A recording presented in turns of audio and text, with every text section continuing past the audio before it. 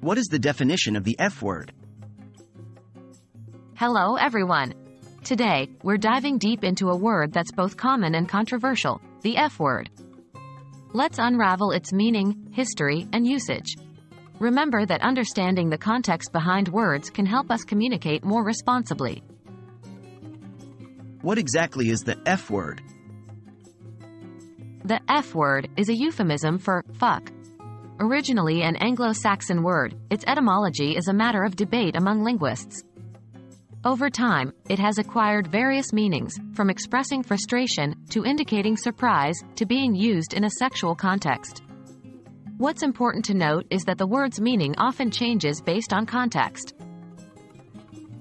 How has its usage evolved? From Old English roots, fuck was at one time used primarily in a literal, sexual sense. However, as language evolves, so too did this word. By the 20th century, it began being used more broadly, sometimes as a verb, noun, adjective, and even an exclamation. The word's versatility is one of the reasons it's so commonly used, but it's also why it's often misunderstood or misused. Why is it considered offensive?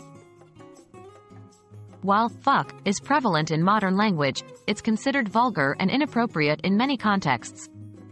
This is largely due to its strong sexual connotations and its history of being used in derogatory or aggressive manners.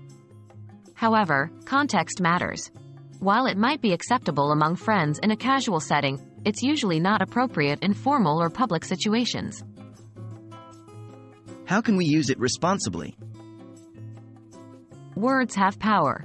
Using them responsibly means being aware of your audience and the setting.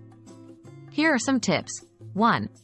Consider the context. If you're in a formal setting or around people you don't know well, it's best to avoid using the word. 2. Think about the impact. Words can evoke strong emotions. Always consider how others might feel. 3. Find alternatives. The English language is rich. If you're looking to emphasize a point, there are many other words you can choose from. While the F word is a small word, it carries a lot of weight. Understanding its history, connotations, and appropriate usage can help us communicate more effectively and empathetically.